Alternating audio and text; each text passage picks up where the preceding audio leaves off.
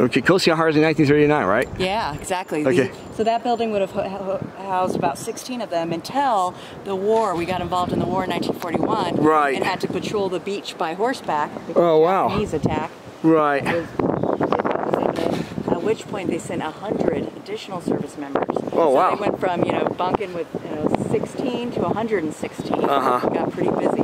Yeah. Um, this boat behind you is a Yeah. life-saving boat built sometime, they don't know, but between 1924 and 1939, and it was in service into the 60s. Mm-hmm. And the way it would work is it's got a 2,000 pound metal hull, and it would right itself. However, it took 40 seconds, so you had a long amount of time under the water before it righted itself.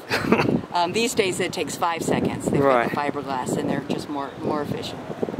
And they could rescue up to 20 Uh-huh. people in that old thing. This was the workshop. They set up some bunks in there for the hundred that came along, and now that's our gift shop. All right, cool. Yeah.